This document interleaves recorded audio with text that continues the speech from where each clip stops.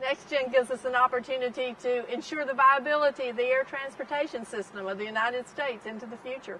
I saw some opportunities with the FAA to bring my R&D, research and development background that I had developed with the Department of Defense over to the aviation sector and take advantage of that and my uh, my skills that I've learned as a pilot. NextGen is for all users of the airspace, not just the commercial operators that most of us tend to think about, but for the general aviation pilots as well.